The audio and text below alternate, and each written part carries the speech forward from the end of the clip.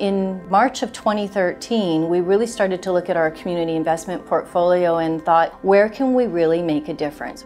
We wanted an issue that was in every one of our communities so that all of our employees could participate, our members would have an understanding of why we were there and what we were doing, and so would our community. And the one area that wasn't being fully supported was hunger. Families need to know that they have a food resource, and that's what the food banks are for. Envision Financial and the Full Cupboard is there to make sure that our food banks have the resources they need in order to serve their clients. We have the soup kitchen, we have check administration, we have the food bank, we have outreach, we have a shelter, and we have a thrift store.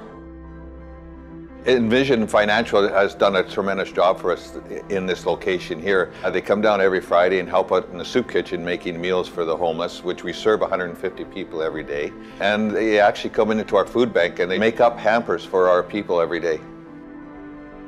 What is very creative of the staff, they all coming together and supporting, is looking for creative ways of getting involved.